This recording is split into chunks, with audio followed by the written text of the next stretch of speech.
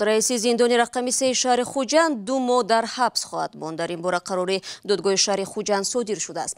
Файзулло сафарзод ба дунболи ошӯб дар идораи зери назораташ рӯзи 15 ноябр боздошт гардид тибқи иттилои дарёфтӣ файзулло сафарзод ба боздоштгоҳи муваққатии шаҳри хуҷанд интиқол ёфтааст. Рӯзи гузашта сафирони кишварҳои аврупо ву амрико бо ҷомеаи шаҳрвандӣ дар душанбе ба ҳам омаданд ва аз ҳукумати тоҷикистон таҳқиқи мушикофонаи ҳодисаҳои шаби ҳафтум ба ҳаштуми ноябр дар зиндони рақами сеи шаҳри хуҷандро тақозо карданд. Мо ҳукуматро ба таҳқиқи мушикофона ба хотири мушаххас кардани ҷузъиёти ошӯб дар зиндони хуҷанд даъват мекунем. Ҳама гуна талошҳои ҷомеаи шаҳрвандӣ барои кӯмак дар мушаххас кардани ҷузъиёти ин ҳодисаҳо бояд мавриди истиқбол бошад